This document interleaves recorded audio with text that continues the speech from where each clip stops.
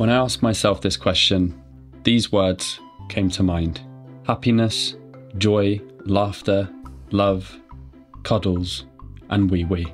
Since owning Freddie, there hasn't been a morning where I haven't woken up with a smile.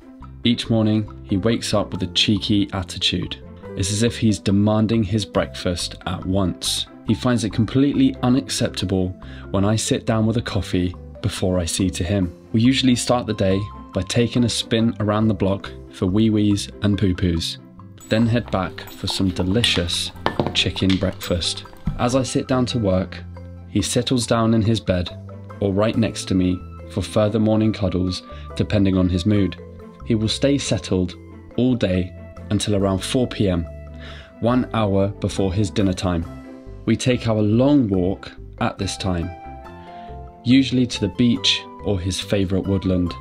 He's off lead most of the time, which gives him a good opportunity to explore and pee on anything he wishes to own.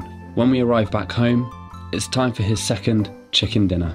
The combination of a nice walk and dinner settles him down again for the evening.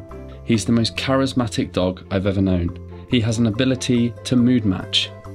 If you are calm, he will be calm. If you'd like to play, he will also play.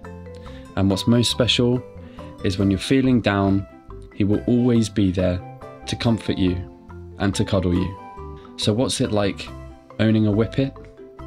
It's amazing, and I wouldn't change anything about him, not even his unique stink. Every day looks the same with this little whippet, and that to us is perfect.